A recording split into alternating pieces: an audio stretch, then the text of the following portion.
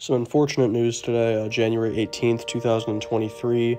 Van Conner, brother of Gary Lee Conner, and uh, the co founder of Screaming Trees, passes away today of pneumonia at the age of 55. The Screaming Trees bassist had been dealing with health problems for a vast number of months now and succumbed to his illness last night.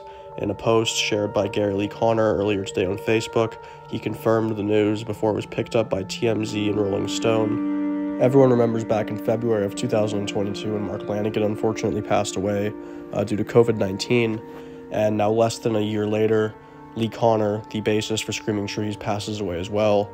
So, again, for those who did not hear it or are hearing it now for the first time, Lee Conner, co founder of Screaming Trees, passes away today at 55.